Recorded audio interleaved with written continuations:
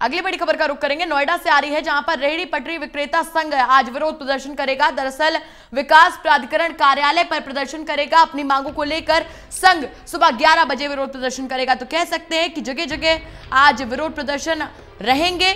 अगर बात की जाए यहाँ पर पिक्चर को लेकर तो मूवी को लेकर भी यहाँ पर जाट जो संघ है, समिति है, वो प्रदर्शन करेगी। वहीं दूसरी तरफ़ रेडी पटरी वाले भी नोएडा विकास प्राधिकरण कार्यालय पर प्रदर्शन करेंगे।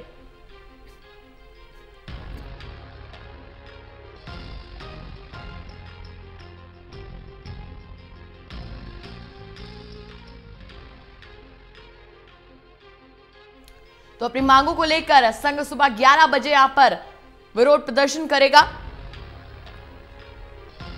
और विकास प्राधिकरण कार्यालय का घेराव करके प्रदर्शन किया जाएगा।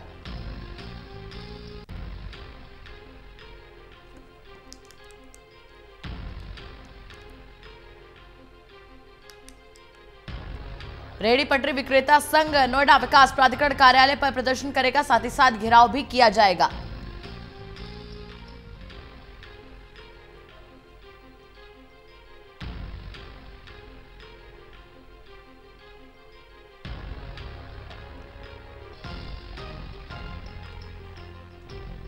तमाम जानकारियों के साथ जुड़ चुके हमारे सहयोगी शिव त्यागी। शिव, रेडी पटरी विक्रेता संघ आज नोएडा विकास प्राधिकरण कार्यालय पर प्रदर्शन करेगा। क्या मांगे हैं और किन मांगों को लेकर यहाँ पर उग्र होते नज़र आ रहे हैं रेडी पटरी विक्रेता?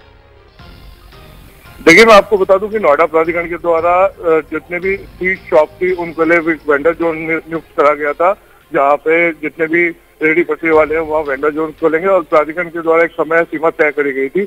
जिसमें करीब आठ हज़ार से ज़्यादा लोगों ने अप्लाई किया था और करीब चौबीस सौ लोगों को दो के द्वारा इनको जारी करा गया था, पत्र जारी करा गया था, जिसमें कहा गया था कि जितनी भी वेंडर्स जो उन्हें हैं, वहाँ पे अब दुकान, जिसका बाद अब प्राधिकरण के द्वारा उनसे मेंशन तीन हज़ार रुपये के हिसाब से महीने का उनसे किराया लिया जाता है। इन सब चीज़ों को लेकर